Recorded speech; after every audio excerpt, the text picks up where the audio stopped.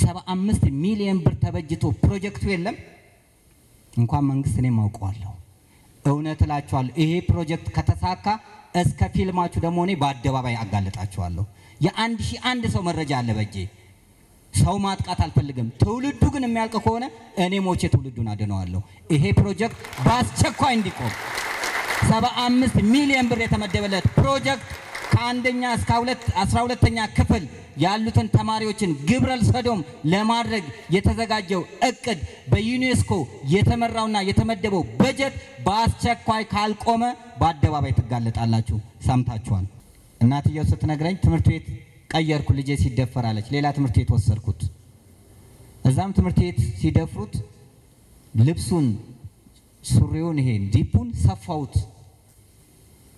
ካካ ከመጣ ጥራኝ ብዬ ያልኩት መምህሩ ግን በአፉ ደፈረው። የአስር ዓመት ህፃን ልጄን ኢትዮጵያን ማየት አልፈልግም ብላ ልጇን ይዛ ወጣች።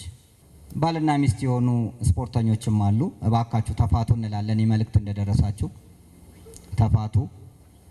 በጣም አጸያፊ ነው፣ ለሀገራችን ነውር ነው አላችሁ። ስም መጥቀሱ እኔ ትምህርት ሚኒስቴር የሰጠው መልስ አንገታችሁን ያስደፋል፣ ያሳፍራል።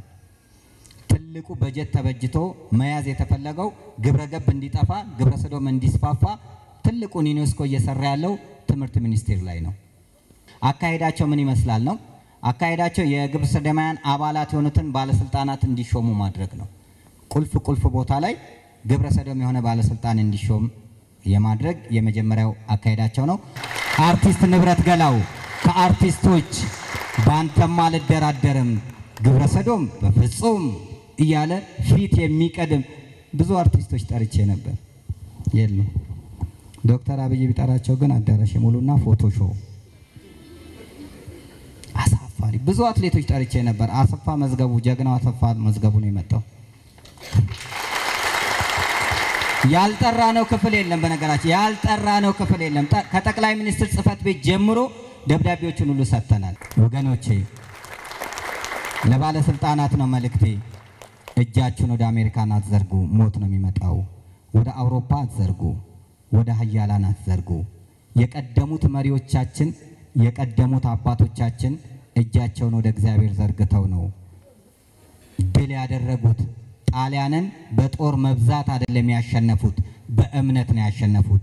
ኢትዮጵያ ከችግር የምትወጣው ኢትዮጵያ ከድህነት የምትወጣው ኢትዮጵያ ከመተላለቅ የምትወጣው እጃችንን ወደ እግዚአብሔር ስንዘረጋ ብቻ ነው።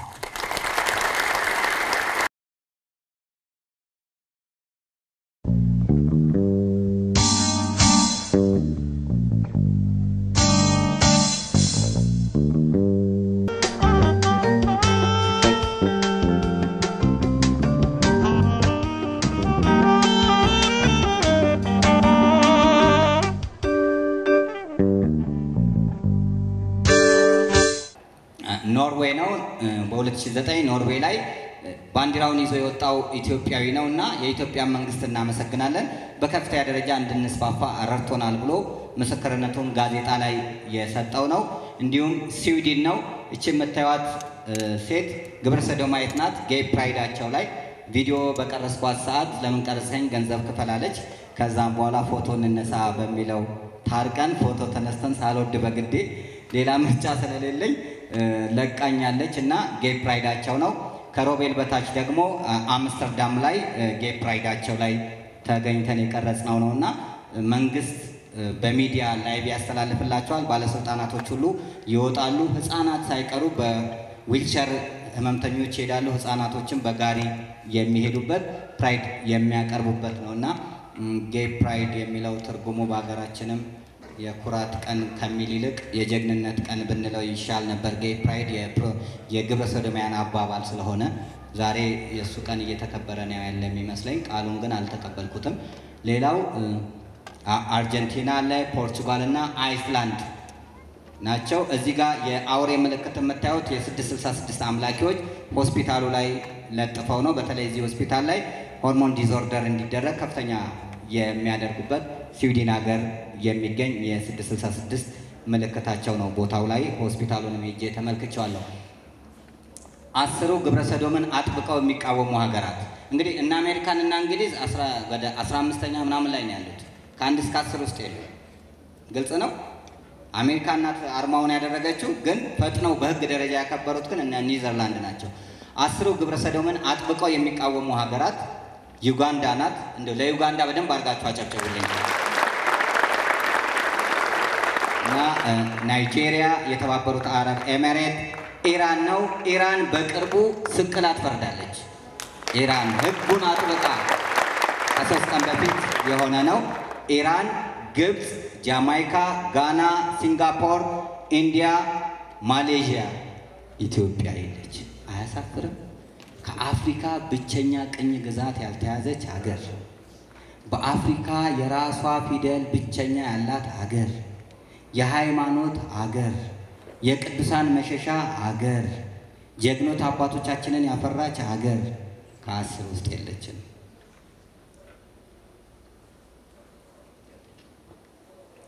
የግብረ ሰዶም እድገት በኢትዮጵያ እነዚህ እንግዲህ አክቲቪስቶች ናቸው። ስለ ግብረ ሰዶም መስፋፋት አለበት በማለት እንቅስቃሴ እያደረጉ ነው። LGBT community in ኢትዮጵያ በሚልም አቋቁመው ጥረት የሚያደርጉ ሰዎችን ፈጥረዋል። አውስትራሊያ ውስጥ የሚኖሩትን ሰዎች እነዚህ ደግሞ በመቁረቢያቸው ሰዓት ላይ እንግዲህ ጋብቻቸውን በግብረ ሰዶም የፈጸሙ ናቸው። ልብ ይስጣቸው። ሌላ በሀገራችን ኢትዮጵያ ከገባ ሀምሳ አምስት ዓመት አልፎታል።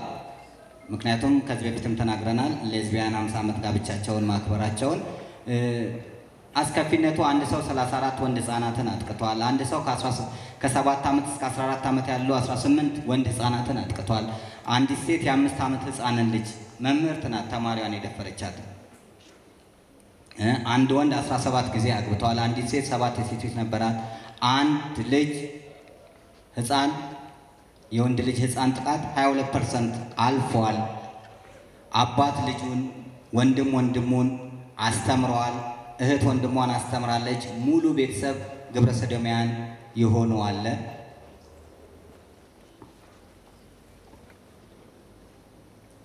ችግሩ እንዳይባባስና እንዳይስፋፋ የሆነበት ምክንያት ምን ሊሆን ይችላል? አንደኛው የመንግስት ግዴለሽነት። መንግስት የሚፈልገው ዶላር ነው። ምክንያቱም እያወቀ ዝም ይላል። በድፍረት ነው የምናገረው። እያወቀ ኢትዮጵያ ውስጥ የግብረ ሰዶም ባንዲራ አልተውለበለበም ይቻላል በህግ ደረጃ ግብረ ሰዶም ወንጀል ነው ያለች ሀገር ኢትዮጵያ እንዴት ነው ባንዲራው መግለጫ ተሰጥቶበታል? ስለዚህ መብት ለዚህ ነው የድፍረታቸው ድፍረት ቶቶ ቱርስ ወደ ኢትዮጵያ እንመጣለን እስከ ማለት የደረሱት እስከ ማለት የደረሱት ባለቤቱን ካልናቁ አጥሩን አይነቀንቁ እንደሚባለው። ሁለተኛ የሃይማኖት ተቋማት በበቂ ሁኔታ ለማስተማርና በፍርሃት መያዝ። የሃይማኖት ተቋማት እያስተማሩ ነው ወይ? በሁሉም ቦታ ላይ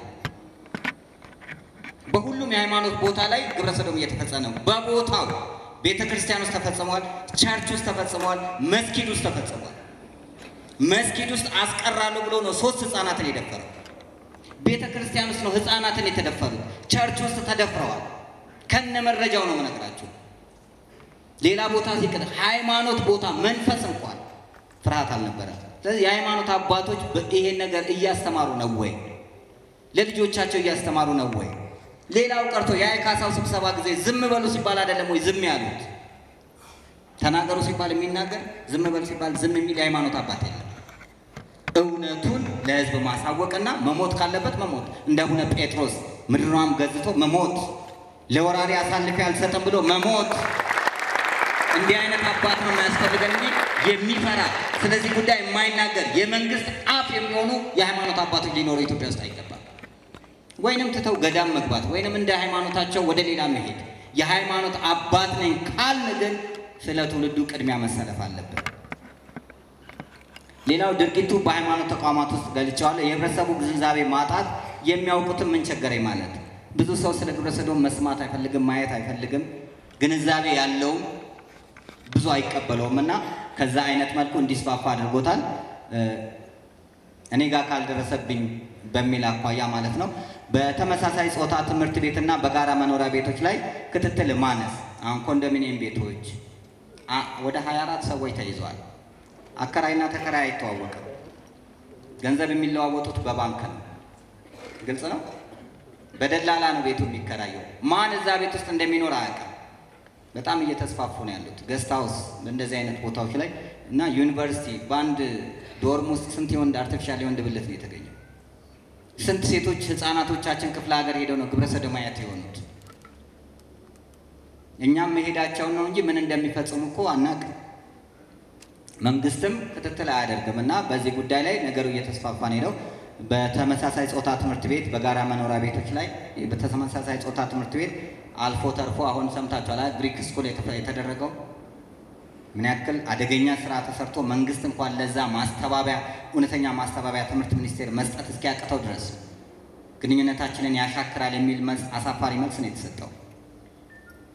እና በሌላም እንደዚሁ ትምህርት ቤቶች ላይ እየተደረገ ነው ያለውና በእነዚህና በሌላ ምክንያቶች ድርጊቱ እየሰፋ እየሰፋ ሄዶ ቀድሞ ከስምንት ዓመት በፊት 13 ሺህ ነበሩ። ከዛ ደግሞ ሁለት ዓመት በኋላ 30 ሺህ ገቡ። አሁን መቶ ሺህ ገቡ። ታምናላችሁ? መቶ ሺህ ገቡ። ለምንድን ነው? በህግ ደረጃ ሲቀጡና ለህዝብ ማስተማሪያ ሲሆኑ አናየም። የሚገስጽ አካል የለም። በተለይ ከ ICASA ው ስብሰባ በተለይ ከቢዮንሴ በኋላ በተለይ ከኦባማ በኋላ ግብረ ሰዶም ኢትዮጵያ ውስጥ እንደ እሳት ሰደድ እሳት ነው የተቀጣጠለው። ትልልቅ ሆቴሎች በተለይ እነዚህ five stars የተባሉት ገንዘብ ለማግኘት ሲሉ የውጭ ሀገር ዜጋ ሁለት ወንዶችን ይዞ ሲተኛ አሜን ብለው ተቀብለዋል እያወቁ። ምክንያቱም ባህልና ቱሪዝም፣ sex tourism ሲስፋፋ እያየ ምንም የወሰደው እርምጃ የለም። ምንም እርምጃ እየወሰደ አይደለም። በውጭው ዓለም ያለው የቱሪዝም አካሄድና በሀገራችን ላይ ያለውን ስናይ በጣም ነው የሚያሳፍረው። የሚያሳዝነው ሳይሆን የሚያሳፍረው የግብረ ሰዶማውያን ስያሜ ዜጋ ይባላሉ። ስማቸውን ሲጠሩ እኔ ዜጋ ነኝ ይላሉ። ጥሩ ጥሩ ነገርን ይወስዳሉ። ልክ ባንዲራውን ሬንቦውን እንደወሰዱ ማለት ነው። እናስመልሰዋለን ከበረታን። ምክንያቱም ቀስተ ደመና የኖህ ምልክት ነው አይደል? በተለይ በኢትዮጵያ ደግሞ በኦርቶዶክስ ተዋሕዶ ቤተክርስቲያን የማርያም መቀነት ነው የምንለው። ቀስተ ደመና ስናይ ውስጣችን ደስ ነው የሚለን። በቀላሉ ሊገባን በሚችለው ቋንቋ ስዕል አይምሯችን ውስጥ ሊገባ በሚችለው ነው አርማቸው ያደረጉት። አሁን አረንጓዴ፣ ቢጫ፣ ቀይ ስታይ ውስጣችሁ ደስ አይልም? በዚህ ገቡ ማለት ነው። እኛ ከበረታን ከነሱ አስጥለን ወደ ቀደመው ወደ እኛ ማምጣት ይቻላል አይቻልም? ይቻላል ስትሉ አመስግኑ ይቻላል።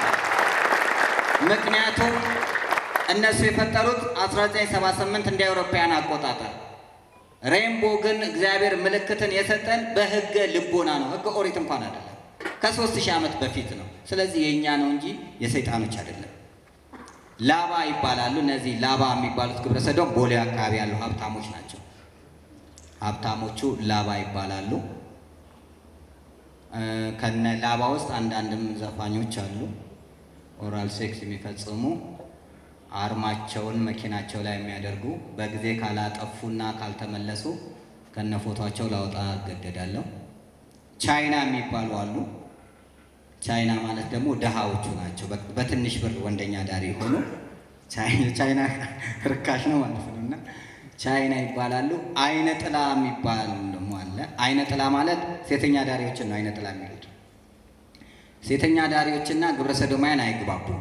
ለምንድን ነው አይግባቡት? በትክክል ሴተኛ ዳሪዎች ቆንጆ ወንዶችን ስለሚቀሟቸው ወንዶች ያለው መጣች ደግሞ ይህች አይነ ይላሉ። ቪሲዲው ላይ ስትወጡ ታገኙታላችሁ። እንግዲህ ስድስት ዓመት ቆሞ ነበር ቪሲዲው። አሁን እንደገና ነው ድጋሚ የታተመው። ሁለት ሺን ያሳተም ነው ለዚህ ዝግጅት። ሌላው ቀጥ የሚባል ነው። ቀጥ ማለት ወንዱም ጋር ሴቷም ጋር የሚሄድ ነው። ብዙ ሰዎች ትዳራቸውን ከጀመሩ በኋላ ወንዶቹ ግብረ ሰዶማውያን ሆነው አግኝተዋል። ሴቶቹን ግብረ ሰዶማውያን ወይንም ሌዝቢያን የመገለጫቸው ነጭ ቀበቶ ያደርጋሉ። ይህ ማለት ሁሉም ናቸው ማለት አይደለም። አንዳንዱ ሳያቅ ነው። እነሱ ግን በዓላማ ነው። ጫማ ያለ ካልሲ ያደርጋሉ። ጸጉሩን ባላቶኒ መቆረጥ፣ ጥብቅ ያለ ሱሪ ማድረግ እና ሱሪ ዝቅ አድርጎ መሄድ። ሱሪ ዝቅ አድርጎ መሄድ በፊት በአሜሪካ የባርነት ነበር። ከዛ የግብረ ሰዶም መገለጫ ሆነ። አሁን እኛ ሀገርም እንዲሁ እያሳዩ ይሄዳሉ እና በታክሲ ውስጥ ሲሄዱ አንድ አባት ረዳቱ ሱሪውን ዝቅ አደረገና አረ ልጅ ሸፍን እባክህ ቢሉት ምን አገባውት አለ። አይ ምንም አላገባኝም ክፉ ዕጣን እንዳይመጣብኝ ብዬ ነው። እና መብት በቃ ተራ ነገር አድርገው የሚያዩበት ነገር አለ። አፍንጫና ጆሮ ላይ በተደጋጋሚ መበሳት አለ። ሰዓት ደጋግሞ ማየት አለ። ለተመሳሳይ ጾታ ስጦታ ማቅረብ ያው በቀደምም አንዷ መታ እባክሽን ስጦታ ልስጥሽ ቤቴ ነይ እንደዚህ ልጋ ወንድ ሴት ልጅ እንደሚለው እነሱም ለተመሳሳይ ጾታ ያደርጋሉ። በተለይ ከውጭ ለሚመጡት የሚመጡትን ሰዎች እነዚህ አንዳንድ ዲያስፖራዎች በዚህ ጉዳይ ላይ ብዙ ሰዎችን አጥፍተውበናል፣ ሴቶችም ወንዶችም እና ይሄ በከተማችን ካለማወቅ የምንጠቀባቸው ቁሳቁስ ናቸው። ይሄ ዣንጥላ እንግዲህ ከዚህ በፊት በሚዲያው ላይ ተናግረናል። ጀሞ ላይ ሬስቶራንት ውስጥ ሰቅሎ ነበረ። እንደዚሁም ጫማ አለ። እህታችን ቀሚሱን አድርገዋለች እና በቤተ ክርስቲያን ደረጃ ግሸን ላይም ከስሩ ገበሩ የግብረ ሰዶም የሆነ ባለፈው ይዘነዋል። አሁን ግን እንደዚህ አይነት በኳስ ላይ ያለ በቀበቶ ላይ ያለ እና አልፎ ተርፎ መኪና ላይ ያለ ታክሲ ታክሲዎች ላይ መስኮቱ ጋር ያደርጉታል፣ ግን መሆኑን አያውቁትም።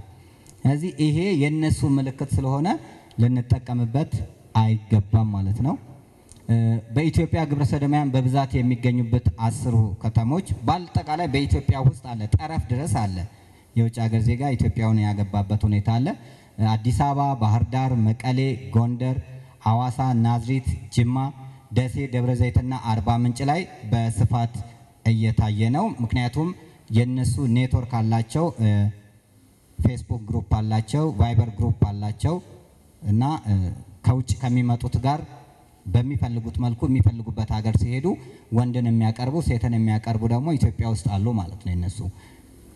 ስለዚህ በቀላሉ ምንም አትቸገሩም ነው የሚሏቸው። የምትፈልጉትን አይነት ነገሩን ይላሉ። እንግዲህ በፊት የሰማነው ዩኒቨርሲቲ ተማሪ ሴቶችን በፎቶ በምናምን ነበር አይደል? አባት የገዛ ልጁን እንዳገኛት ማለት ነው ሴተኛ አዳሪ ሆና ሊጠይቃት ሲሄድ፣ አሁን ደግሞ ከዛ በላይ ደግሞ አሁን ይሄኛው ነው የመጣው ይሄኛው ነው የመጣው ሰውየው ባህር ዳር ከሆነ የሚሄደው ቱሪስቱ ባህር ዳር አካባቢ ይደረጋል። ያው በሀገራችንም ላይ እንደውም መምህርት አለች በኋላ ትናገራለች እና የሁለተኛ ክፍል ተማሪ 12 ዓመት ህፃን ላይ አጥፍቶ ተንበርከክ ስትለው መንበርከክ ያቅተዋል። ከዛ በጓደኞቹ አማካኝነት ሲታወቅ ልጁ ግብረ ሰዶም ከሆነ ሁለት ዓመት ሆነ። የስንት ዓመት ሆኖ ነው የጀመረው? የአስር ዓመት ለእኔ ተደወለልኝ። ተከታተሉ አልኳቸው። ሀያ ህፃናት ተገኙ። ከሀያ ውስጥ ሶስቱ ሴቶች ናቸው። ሶስቱን ሴቶች በፊንጢጣቸው ነው የተገናኟቸው። የሰባት ዓመት ህፃን ልጅ አስባችሁታል? የእኔ ልጅ ብትሆን ብላችሁ ወላጆች እያለቀሱ ነው ያሉት። እንደውም በአንድ ወቅት በእንትን ሲሄዱ ፒኮክ መናፈሻ እየሄዱ እያለ ሴቷ ድምጿ ተዘግቶ ትጮኋለች፣ ድረሱልኝ እያለች ሁለት ትልልቅ ሰዎች ናቸውና እባክህ እናስጥላት ሲለው በጊዜ አትገባም ነበር ተዋት አለ። እቤት ገባ። መጨረሻ በር ተንኳኳ። በጊዜ አትገባም ያለው ሲከፈት ድንግል ልጁ ነበረች እንደዛ የተበለሻሸችው። ነገ እያንዳንዳችን እኛ ቤት ይመጣል። ባለስልጣናትን በልጆች ታገኘዋለህ ታገኘዋለህ። በዘር ለምን ተወጥቶ አልመጣም ብሎ የተቃወመኝ ባለስልጣን አለ፣ ታገኘዋለህ። እግዚአብሔር ቀን አለው። ስለ ግብረ ሰዶም የሚቃወም ጠንካራ እንደ ዩጋንዳ አይነት መሪን ኢትዮጵያ ታፈራለች። ኢትዮጵያ መካን አይደለችም። ሰው አላት ኢትዮጵያ ሰው አላት። ለእርዳታ የማይንበረከክ ለሀያላን የማይንበረከክ እውነተኛ ኢትዮጵያዊነቱን በቃል ሳይሆን በተግባር የሚሰብክ እውነተኛ መሪ ኢትዮጵያ ታፈራለች። አይቀርም። ዳግማዊ አጼ ቴዎድሮስ፣ ዳግማዊ ምኒልክን ኢትዮጵያ ታፈራለች። እኛ ከዩጋንዳ እንነስ፣ እኛ ከዚምባብዌ እንነስ፣ የታሪክ ሀገር ኢትዮጵያ ትነስ። ለጥቅም ተብሎ ትውልድ ይለቅ። አያውቁትም ይሄንን ሰባ አምስት ሚሊዮን ብር ተበጅቶ ፕሮጀክቱ የለም። እንኳን መንግስት እኔም አውቀዋለሁ። እውነት እላችኋለሁ ይሄ ፕሮጀክት ከተሳካ እስከ ፊልማችሁ ደግሞ እኔ በአደባባይ አጋልጣችኋለሁ። የአንድ ሺህ አንድ ሰው መረጃ አለ በእጄ። ሰው ማጥቃት አልፈልግም። ትውልዱ ግን የሚያልቅ ከሆነ እኔ ሞቼ ትውልዱን አድነዋለሁ። ይሄ ፕሮጀክት በአስቸኳይ እንዲቆም ሰባ አምስት ሚሊዮን ብር የተመደበለት ፕሮጀክት ከአንደኛ እስከ አስራ ሁለተኛ ክፍል ያሉትን ተማሪዎችን ግብረ ሰዶም ለማድረግ የተዘጋጀው እቅድ በዩኔስኮ የተመራውና የተመደበው በጀት በአስቸኳይ ካልቆመ በአደባባይ ትጋለጣላችሁ። ሰምታችኋል። ቀጥይ። በአዲስ አበባ ግብረ ሰዶማውያን በብዛት የሚገኙበት በሁሉም ቦታ አሉ። ፒያሳ፣ ፍሎሃ፣ ቦሌ፣ 22 ማዞሪያ የራሳቸውም ሆቴል ሁሉ አላቸው።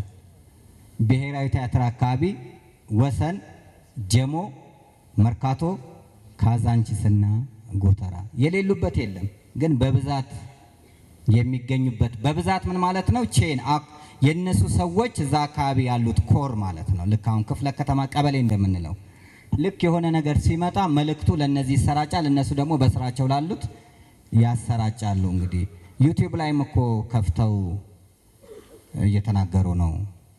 እኛ አክቲቪስት ነን፣ የኢትዮጵያ ግብረ አክቲቪስት ነን እያሉ ሁለት አሉ ወጠጤ ልጆች እየሞከሩ ነው። ልቦና ይስጣቸው። ግብረ ሰዶማውያን ኢትዮጵያውን መቆጣጠር የሚችሉት እነዚህ መስሪያ ቤቶች ሲያንበረክኩና በውስጡ ሲገቡ ነው። የመጀመሪያው ጠቅላይ ሚኒስትር ጽህፈት ቤትን መያዝ ይፈልጋሉ። ምክንያቱም ትልቁ ስልጣን ያለው እላይ ስለሆነ ይሄ ሙሉ ለሙሉ ኮፒ የተደረገው የእንግሊዝን አካሄድ ነው የተከተሉት፣ የእንግሊዝን አካሄድ። ሁለተኛው ውጭ ጉዳይ ሚኒስትርን ነው። ምክንያቱም ለመምጣት ብዙ ነገር የሚያመቻቸው ከውጭ ጉዳይ ሚኒስቴር ጋር በሚያደርጉት ግንኙነት ነው። ህፃናት፣ ሴቶችና ወጣቶች ጉዳይ ሚኒስቴርን መያዝ ይፈልጋሉ። እኛ ሀገር ይህ ሚኒስቴር መስሪያ ቤት አለ፣ ግን የህፃናት ወንድ ልጅ ጥቃት ስንት percent ደርሷል ነው ያልኳችሁ? ሚኒስቴር መስሪያ ቤቱ ግን አለ አይደል? ግን ህፃናት ጥቃቱ ይሄ ደርሷል። ስለዚህ ምን እየተሰራ ነው? ባህልና ቱሪዝም ሚኒስቴር ባህሏን ማጥፋት ነው የሚፈልጉት። ምክንያቱም ሃይማኖት እንዲኖር ስለማይፈለግ የ666 አሰራር ነው። እነዚህም ቦታዎችን ከያዙ sex tourism በብዛት ይስፋፋል። ለዚህም ነው እንመጣለን ብለው ቢቢሲ ላይ በድፍረት እስከ መናገር የደረሱትና እኔ ያልገባኝ እነዚህ ቶቶ በመጀመሪያ ደብዳቤ ሳይጽፉና ሳይነጋገሩ ይሁን እንመጣለን ብለው 7900 ዶላር ዋጋ የጠየቁት ነው እንዴ? ነው ድራማ እኮ ነው የኢትዮጵያ ሕዝብ ላይ እየሰሩ ያሉት። ሌላው ፍትህ ሚኒስቴር ነው። ምክንያቱም ፍትህ ሚኒስቴር ወንጀለኞችን ለሕዝብ አጋልጦ ማስተማሪያ የሚያደርግ ትልቁ አካል ነው። 34 ህፃናትን የደፈረውና 25 ዓመት የተፈረደበት ልጅ ግን ለህግ ፍርድ ለህዝቡ እንዲታወቅ አልተደረገም። የሆነ ነገር የሰረቀ ግን እንዲሰርቋል ሲባል እንሰማለን። ምን ነው እንደዚህ አስራ ምናምን ህፃናትን ደፈረ እንደዚህ ያደረገ የሚባለውን በማስተማሪያነት ለምንድን ነው የማይቀርበው? እኔ ጋር በርካታ ዶክሜንቶች አሉ የተፈረደባቸው፣ ግን ለህዝብ እንዳይታወቅ ለምንድን ነው የሚደረገው? ያውም እኮ ፍርዱ ከተደረገ ነው። በኋላ ዶክተር የምትናገረው ይኖራታል የፍርድ ሂደት ውስጥ የገጠማትን እና ያውም ነው ያውም ነው ምላችሁ እንግዲህ ከተያዙና ያውም ተከራካሪ ካለ ነው እንጂ እንግዲህ ወንጀልን የሚከራከረው አቃቢ ህግ ነው አይደል? አቃቢ ህግ ታዲያ ይሄ ሁሉ ግብረ ሰዶማውያን ሲስፋፉ የት ነው ያለው? ስራ ምንድን ነው እየተሰራ ያለው? ሌላው የፌዴራል ፖሊስ ኮሚሽን ነው። እነዚህ አይነት ቦታዎችን የሚፈልጉት ነው። የፌዴራል ስፖርት ኮሚሽንንም ይፈልጋሉ። ባልና ሚስት የሆኑ ስፖርተኞችም አሉ። እባካችሁ ተፋቱ እንላለን። መልእክት እንደደረሳችሁ ተፋቱ።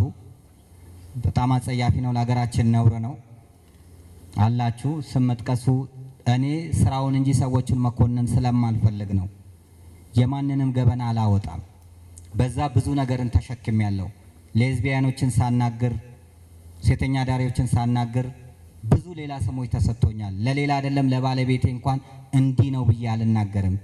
በአንድ ወቅት አንዲት ሌዝቢ በጣም ስለከበደችኝ ለጓደኛዬ ብነግረው ሚስጥሩን ስላወጣ ልጅቷ ጠፍታ ብንብላ እሷን ለመመለስ የከፈልኩትን ዋጋ ስለማቅ ስድቡን ልብስ አድርጌ ይዤዋለሁ እንጂ የአንድ ሺህ አንድ ሰው ገበና በእጅ ያለ አላማዬ ማጋለጥ አይደለም። ከዛ ህይወት ውስጥ ውጡ ነው ውጡ ነው። አይጠቅምም፣ ውጡ ነው። አሁንም መልእክቴ እናንተን መደብደብ መስደብ፣ ማዋረድ፣ መግደል አይደለም። ከዚህ ህይወት ውስጥ ውጡና ጥሩ ዜጋ ሆኑ ነው። ሌላው የሰብአዊ መብት ኮሚሽንን ነው። ብዙ ጊዜ የሰብአዊ መብት ኮሚሽን ስለተጎዱት ሰዎች የሚከራከር ነው አይደል? አንድ ጋዜጠኛ ቢታሰር ይጮኋል አይጮህም? ታዲያ እነዚህ ሁሉ ህፃናት ሲያልቁ በኢትዮጵያ እንደዚህ ተደፍረዋል ብሎ ሰብአዊ መብት ኮሚሽን ሲናገር ሰምተናል። ለማን ነው የሚከራከረው? ኮሚሽኑ ለማን ነው የተቋቋመው? ሴቶች ህፃናት ሲደፈሩ ወንዶች ህፃናት ሲደፈሩ ወላጆች እንዲህ ሲያለቅሱ ይሄን ያክል percent ቁጥር ሲመጣ ሰብአዊ መብት ኮሚሽን ለምንድን ነው ኢትዮጵያ መንግስት ይሄ አግባብ አይደለም፣ በህፃናቶች ላይ መከራ መጥቷል ያለ ሳያውቅ ቀርቶ ይሆን? ሌላው ትምህርት ሚኒስቴርን ነው። ዋናውን ትምህርት ሚኒስቴር ካሪኩለም ያዘጋጁለት ትምህርት ሚኒስቴር ለግሪክ ስኩል እንኳን የሰጠው መልስ ዲፕሎማሲውን ያንጓትትብናል ብሎ ጋዜጣው እንግዳ ጋዜጣውን ላይ ወጥቷል። ነሐሴ 1 2011 የወጣውን አዲስ ዘመን ጋዜጣን ተከታተሉ። አጥፍተውታል። ከተማው ላይ አይገኝም ጋዜጣው። ትምህርት ሚኒስቴር የሰጠው መልስ አንገታችሁን ያስደፋል፣ ያሳፍራል። ትልቁ በጀት ተበጅቶ መያዝ የተፈለገው ግብረ ገብ እንዲጠፋ ግብረ ሰዶም እንዲስፋፋ ትልቁን ዩኔስኮ እየሰራ ያለው ትምህርት ሚኒስቴር ላይ ነው። በእርግጥ ጠንካራ የሆኑ ባለስልጣናቶችም መልስ የሰጡ አሉ። እዚህም ላይ ታገኙታላችሁ። አዲስ ዘመን ጋዜጣ ላይ ነሐሴ 1 ዕለተ ረቡዕ 2011 የወጣው ላይ አንብቡት እና ታዩታላችሁ። እዚህ ላይ ስለወጣው ነገር እንዲሁም ደግሞ ዶክተሩ የጻፉትም ደብዳቤ መረጃው እጄ ላይ አለ። ጥሩ ጥሩ ደግሞ ትምህርት ሚኒስቴር ውስጥ ሆነው ግብረ ሰዶም እንዳይስፋፋ ዋጋ እየከፈሉ ገንዘብ አንፈልግም፣ ትውልዱ መጥፋት የለበትም የሚሉም አሉ ትምህርት ሚኒስቴር ውስጥ። ለእነሱ አጨብጭቡላቸው በእውነት በነገራችን ላይ ሁለት አይነት ነው።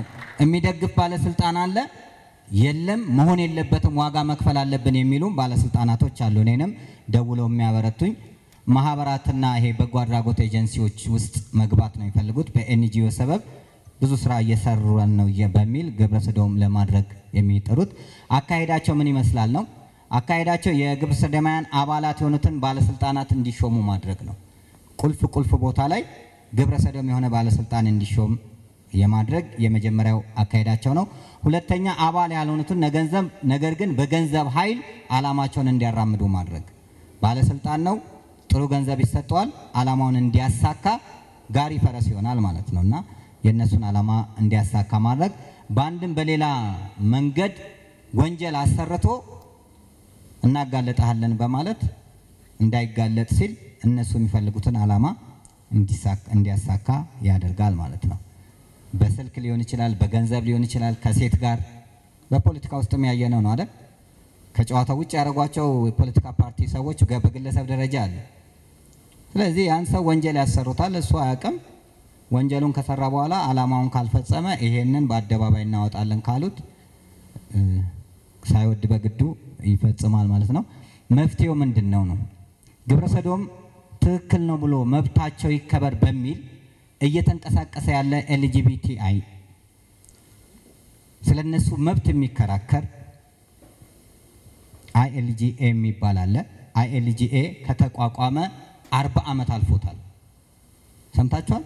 ስለ እነሱ መብት ግብረ ሰዶም ትክክል ነው ማድረግ አለባቸው የሚል በነገራችን ላይ እኮ ግብረ ሰዶም መሆን ብቻ አይደለም፣ ግብረ ሰዶምን መቃወም ያሳስራቸዋል። በውጭ ዓለም ፈቃድ ባገኙበት ቦታ ኬክ ሰርቶ ኬክ ስራልኝ ካለ ትሰራለታለህ። የአይምሮዬን አስተሳሰቤን abuse አድርጎኛል ብሎ የክርስትና ያሳስራል። ስለዚህ የእነሱን መብት የሚከራከርላቸው አርባ ዓመት ሆኗል። ግን እነሱን ከሞት ውስጥ የሚያወጣ ወደ ህይወት እንዲመጡ የሚያደርግ ትክክል አይደለም ብሎ የሚከራከር በዓለም ላይ አንድ ማህበር የለም። ያ በመሆኑ አባቶቻችን ለቅኝ ገዢዎች ባለመንበርከክ ሆዴ ይሙላ ደረቴ ይቅላ ባለማለት ባንዳ ሳይሆኑ ባንዳ ያኔም ነበር አሁንም አለ። ኢትዮጵያን የሚሸጥ ያኔም ነበር አሁንም አለ። ባንዳ አለ። ፈሪ አሁንም አለ ያኔም አለ።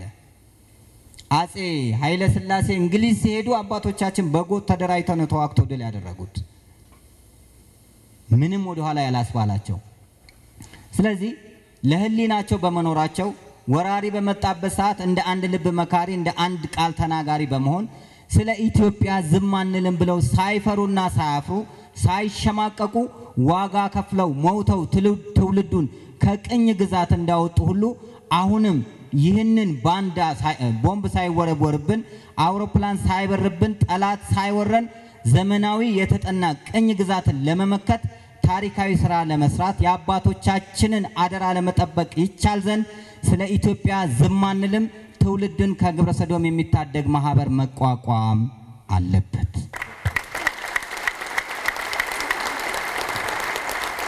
መንግስት ይከራከራልኛል ብለህ እንዳትጠብቅ። የሃይማኖት ተቋማትም ደፍረው ይወጣሉ ብለህ እንዳትጠብቅ። እኛው ራሳችን ተንቀሳቅሰን መንግስትንም አስገንዝበን የሃይማኖት ተቋማትንም አንቅተን ካልተንቀሳቀስን ሳንወድ በግድ ኢትዮጵያም ግብረ ሰዶምን በህጓ እንድትቀበል ጫና ይፈጥሩብናል። የማህበሩ ዓላማ ይህ የማህበር ዓላማ ስለ ኢትዮጵያ ዝም አንልም። ዛሬ አይደለም የጀመርኩት። ከአምስት ዓመት በፊት ከአምስት ክልሎች መታወቂያ ወስደን በማ ኤጀንሲው በኩል እንቅስቃሴውን ጀምሬ ነበረ። ስለ ህግ አትናገር ነው ያሉኝ። ህግ ይሻሻላል ምናምን አትበላሉ እና ሌሎች ሌሎች ነገሮችን መጡ።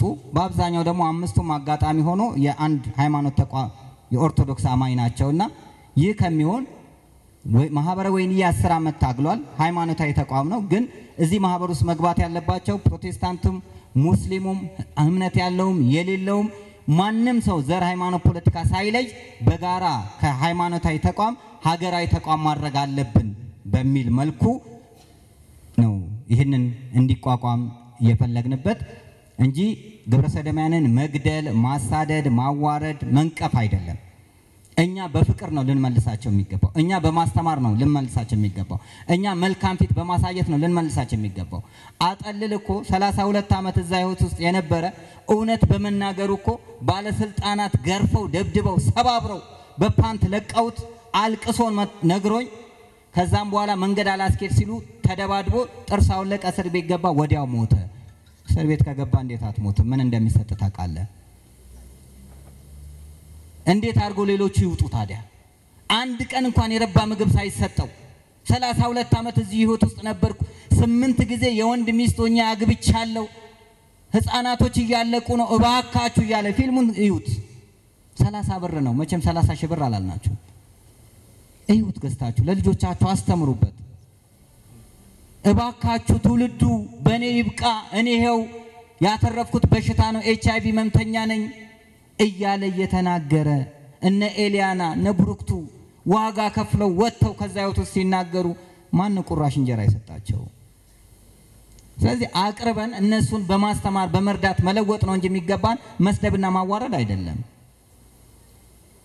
ስለዚህ ትውልዱን ከዚህ ከ66 66 ክፉ መንፈስ እንዳይጎዳ የግንዛቤ ማስጨበጫ በሁሉም የኢትዮጵያ ክፍል ማዳረስ በሃይማኖት ተቋማትን በተለያየ ቦታዎች ላይ ህዝቡ ይሄንን ስለ ግብረ ሰዶም አስከፊነት እንዲረዱ ማድረግ። ሁለተኛ ከዚህ ህይወት ውስጥ የወጡትን ሰዎች ችግራቸውን በመረዳት በማስተማር በማሰልጠን ስራ በማስያዝ ራሳቸውን እንዲችሉ ማድረግ መኖር እንዲችሉ ከወንደኛ ዳሪነት እና እንደዚሁም ከሌዝባያን ህይወት እንዲወጡ ማድረግ በዚህ አስከፊ ህይወት ውስጥ ያሉትን አስተምሮና አውጥቶ መልካም ዜጋ እንዲሆኑ ማድረግ አግብቶ መውለድ የማይቻል የመሰላቸውን አግብቶ መውለድ እንደሚቻል ማሳየት እንዲሁም በትምህርት ቤት ስርዓተ ጾታ ትምህርት እንዲሰጥ አራት ትምህርት ቤት ፈርሷል። በነገራችን ላይ አንደኛው የቤተሰብ ትምህርት ቤት ነው። ቤተሰብ ልጁን በአይን ብቻ ነበር። ወላጆች በአይን ሲናገሩ ልጆች ዞር ይላሉ። ዛሬ ግን ልጅ እናት ልጆቹን መቅጣት ይችላል? ፈርሷል።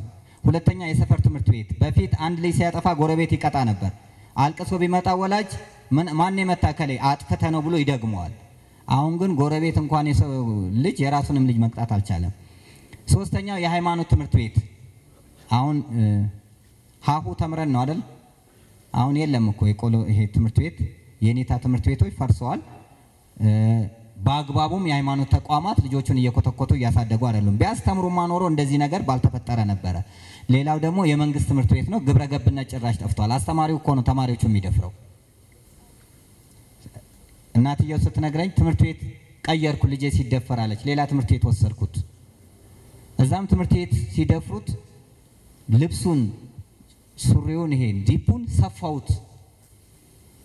ካካ ከመጣ ጥራኝ ብዬ ያልኩት መምህሩ ግን በአፉ ደፈረው። የአስር ዓመት ህፃን ልጄን ኢትዮጵያን ማየት አልፈልግም ብላ ልጇን ይዛ ወጣች። እና የሚጎዱት በወላጅ በአስጠኚ፣ በዘበኛ፣ በመምህራን ቅርብ በምትሏቸው ሰዎች ጉዳቱ እየደረሰ ነው ያለው እና የስነ ልቦናና የስነ አእምሮ ጉዳት የደረሰባቸውን ግብረ ሰዶማውያንን በባለሙያ እንዲታገዙ ማድረግ በጣም ገንዘብ አቅም አላቸው፣ ግን የስነ ልቦና ጉዳት ውስጥ ያሉ ሰዎች እንዲረዱ ማድረግ፣ የራሳቸው የሆነ የማገገሚያ ቦታ ማዘጋጀት። በተለይ ይህንን ባለስልጣናት አይፈልጉም፣ ግን እንደ ፌስቱላ እንደሚታከሙ እነዚህም ይኸውን ሄደው ካርድ አውጥተው ከህዝቡ ጋር ለመታከም ስነ ልቦና ችግሩ ስለሚገቡ የራሳቸው የሆነ ማገገሚያ ቦታ ቢዘጋጅላቸው መልካም ነው። ህብረተሰቡ በፍቅር እንዲያያቸው፣ በወንድምነት እንዲያቀርባቸው፣ መልካምነትን እንዲያሳያቸው ማድረግ ህዝቡም በጥሩ መልኩ ተቀብሎ በማስተማርና በመርዳት እና በመረዳት ከዛ ህይወት ውስጥ እንዲወጡ ማድረግ በዚህ ህይወት ውስጥ ያሉትን ከህይወቱ ከህይወቱም ከሱሱም ነፃ ማድረግ። በአብዛኛው የሱስ ተገዢ ስለሆኑ ከሱሱም ከህይወቱም እንዲወጡ ማድረግ። ቅኝ ግዛት በአፍሪካ ያልተያዘች ብቸኛ ሀገር በአፍሪካ ብቸኛ የራሷ ፊደል ያላት ሀገር። የስልጣኔ ቀደምት ተሻጋሪ ታሪክ አኩሪ ባህል መልካም እሴትና ወግ ያላት ኢትዮጵያ። ግብረ ሰዶምን የማትቀበል የምትጸየፍ አርያ የሆነችና እጆቿን ወደ እግዚአብሔር የምትዘረጋ ሀገር ማድረግ። ዓላማው ይሄ ነው። አስር የመላውን የሀገራችንን የላላውን የሀገራችን ህግ እንዲቀየር በማድረግ ከ18 ዓመት በላይ ሆነው በፈቃዳቸው ግብረ ሰዶም ለሚፈጽሙ 25 ዓመት ጽኑ እስራት እንዲሁም ያለ ፈቃዳቸውና ህፃናት ላይ ግብረ ሰዶምን ለሚፈጽሙ እድሜ ልክ ጽኑ እስራት ሆኖ ሁሉም እስራት ይቅርታ ከማያሰጣቸው ህጎች እንዲደመር ማድረግ። ሞት ያወጁ እኮ ብዙ ሀገራት አሉ። እኛ ሞትም አላወጅንም። በነገራችን ላይ በሚኒስትሮች ምክር ቤት ከተወሰነ በኋላ ተወካዮች ምክር ቤት ነው እንዳይጸድቅ የተደረገው። ይቅርታ ከማያሰጣቸው ህጎች አንዱ ግብረ ሰዶም ነበር። ስለዚህ በርትተን ታግለን ህግ ይቀየራል። እንኳን የወንጀል ህግ አይደለም ህገ መንግስት አይቀየርም እንዴ? የህጎች ሁሉ የበላይ ህገ መንግስት ነው አይደል? አይቀየርም ወይ? ይቀየራል። ህግ የሚወጣው ከነባራዊ ሁኔታ ነው አይደል? ጸረ ሽብር ህግ፣ ጸረ ሙስና የሚባለው ከነበረው ሁኔታ በመነሳት ነው። ኢትዮጵያ ውስጥ እያመጣ ያለው ጉዳት ከባድ ስለሆነ የኢትዮጵያ ህግ ደግሞ የላላ ስለሆነ ሊቀየር ወደዱም ጠሉም ግድ ነው። ይሄ ካልተቀየረ በስተቀር ፍጹም የግብረ ሰዶምን መክታት አይቻልም። መጀመሪያ ማስተማር፣ መምከር፣ መገሰጽ፣ ግንዛቤ እንዲኖራቸው ማድረግ። ይሄን ግን አይሆንም ብለው የሚቀጥሉ ከሆነ እርምጃ መውሰድ። ኢትዮጵያ እጆቿን ወደ እግዚአብሔር ትዘረጋለች። ወገኖቼ ለባለስልጣናት ነው መልእክቴ። እጃችሁን ወደ አሜሪካን አትዘርጉ፣ ሞት ነው የሚመጣው። ወደ አውሮፓ አትዘርጉ፣ ወደ ሀያላን አትዘርጉ። የቀደሙት መሪዎቻችን የቀደሙት አባቶቻችን እጃቸውን ወደ እግዚአብሔር ዘርግተው ነው ድል ያደረጉት። ጣሊያንን በጦር መብዛት አይደለም ያሸነፉት፣ በእምነት ነው ያሸነፉት። ኢትዮጵያ ከችግር የምትወጣው፣ ኢትዮጵያ ከድህነት የምትወጣው፣ ኢትዮጵያ ከመተላለቅ የምትወጣው እጃችንን ወደ እግዚአብሔር ስንዘረጋ ብቻ ነው። የውጭ ሀገር ሰዎች የቤት ስራ እየሰሩብን፣ ዘር ከዘር እያባሉን፣ ጎጥ ከጎጥ እያባጁን፣ መከራ እያመጡብን፣ በሽታ እየለቀቁብን፣ በእርዳታ ሰበብ ብዙ ማንነታችንን አጥተናል። እኛ ከአባቶቻችን የተቀበልነው ኢትዮጵያን ነው፣ ወንድነትን ነው፣ ጀግንነትን ነው፣ ህብረትን ነው፣ ሰላምን፣ ፍቅርን፣ አንድነትን የተቀበልነው። ያልተቀበላችሁትን ለትውልዱ አትስጡ። ባለስልጣናት ያልተቀበላችሁትን እናንተ ዛሬ ባለስልጣን እንድትሆኑ ያደረጉት አባቶቻችን ዋጋ ስለከፈሉ ነው። እነሱ ባይከፍሉ ኖሮ ዛሬ ባሪያ ነበር የምንሆነው። ስለዚህ አሁንም መልእክቴ አደራ የምለው መሞታችን አይቀርም። በእግዚአብሔርም በታሪክም በትውልድም እንዳንጠየቅ እጃችንን ወደ እግዚአብሔር እንዘርጋ። አስር ዓመት ጮክ ያለው ደም እንባ አፍስሻለሁ። ታምሜ ሆስፒታል ገብቻለሁ። ገንዘብ ሲያጥረኝ የአንገቴን ወርቅ ሲቸግረኝ ልብሴን ሁሉ አውጥቼ መረጃ ለሚሰጡኝ ሰጥቻለሁ። አንድ ነጥብ አምስት ሚሊዮን ብር ፕሮጀክት አቅርቤ 25 ሺህ ብር ነው ያገኘሁት። ተክለ ሃይማኖት ጠቅላላ ሆስፒታል አምስት ሺህ ብር፣ አቶ ጸጋዬ 10 ሺህ ብር፣ መቶ አለቃ ፈቃደ የቡና ገበያ ኃላፊው 10 ሺህ ብር ነው ያገኘሁት። አንድ ነጥብ አምስት ሚሊዮን ብር ነበር ፕሮጀክቱ። ይሄን ሁሉ ዋጋ የከፈልኩት በእኔ በልጆቼ በዘመዶቼ ላይ ስለደረሰ አይደለም። የአርበኛ ልጅ አርበኛ የጀግና ልጅ ጀግና ስለሆነ አባቴ አርበኛ አያቴ አርበኛ አባቴ ወንድም አርበኛ የእናቴ አባት አርበኛ ለጠላት ስላልተንበረከኩ እኔም ዛሬ ለጠላት አልንበረከክም። ድፍረቴ ይሄ ነው። እሞታለሁ፣ ግን ለሀገሬ ስል እሞታለሁ። ስለ ሶስት ነገር እሞታለሁ። ስለ ኢትዮጵያ እሞታለሁ፣ ስለ ኢትዮጵያዊነት፣ ስለ ሃይማኖቴ እሞታለሁ፣ ስለ ግብረ ሰዶም እሞታለሁ። በመጨረሻ አንድ ነገር ልንገራችሁ። ተማሪዎቹ የኔታንን ፈተነው አሉ። ኔታንን ፈተናቸው። ምን እንፈትን? ወፍ እንያዝና ወደ ኋላ አድርገን የኔታ ምን ይዘናል እንበላቸው። ወፍ ካሉ ነፍስ አላት ወይስ ነፍስ የላትም እንበል። ነፍስ አላት ካሉ ጭምቅ አድርገን እንገላለን፣ አላወቁም ማለት ነው። ነፍስ የላትም ካሉ ወፏ ትበራለች፣ እንለቃለን። ስለዚህ የኔታን እናሸንፋለን አሉ። ከዛ ወፍ ይዘው መጡ ወደኋላ አድርገው የኔታ ምን ይዘናል አሉ። ወፍ ነፍስ አላት ወይስ ነፍስ የላትም? ነፍሷ በእጃችሁ ላይ ነው። የኢትዮጵያ ጉዳይ ከዚህ በኋላ የኔ ግሌ ወይ የማህበራዊ ጉዳይ አይደለም፣ የኢትዮጵያን የጋራችን ጉዳይ ነው።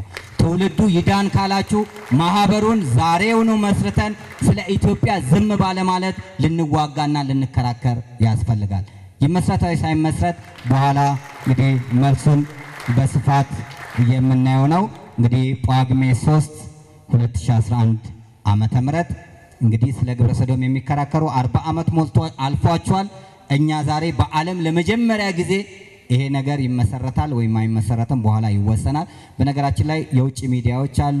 ከአጃንስ ፍራንስ ፕሬስ የመጡ አሉ፣ አሶሺየትድ ፕሬስ የመጡ አሉ፣ ቢቢሲ የመጡ አሉ፣ ዶቼ ቬለ የመጡ አሉ፣ ኒውዮርክ ታይምስ የመጡ አሉ። በርካታ እና እነ ትራምፕ ያዩታል፣ እነ ፑቲን ይከታተሉታል፣ የእነሱም ሰዎች ያዩታል። የማያየው ኢትዮጵያ ውስጥ ጀግና ተፈጠረ፣ ስለ ግብረ ሰዶም የሚዋጋ ማህበር ተቋቋመ የሚለውን ማድረግ አለብን የለብንም? ይሄው ነው እንግዲህ ክብር ይስጥልኝ። ወደ ጋዜጠኛ ነጋሽ በዳዳ ከናሁ ቴሌቪዥን ስለ ግብረ ሰዶም በጣም የሚቃወም ዓላማው የእኛን ዓላማ የሚደግፍ ከፊት እሰለፋለሁ ፈተናም ቢመጣ እኔን አስቀድመኝ ያለ ጀግና ጋዜጠኛ ነው። ልክ እንደ አርቲስት ንብረት ገላው ከአርቲስቶች በአንተማ አልደራደርም ግብረ ሰዶም በፍጹም እያለ ፊት የሚቀድም ብዙ አርቲስቶች ጠርቼ ነበር፣ የሉም። ዶክተር አብይ ቢጠራቸው ግን አዳራሽ ሙሉና ፎቶ ሾው አሳፋሪ። ብዙ አትሌቶች ጠርቼ ነበር። አሰፋ መዝገቡ፣ ጀግናው አሰፋ መዝገቡ ነው የመጣው።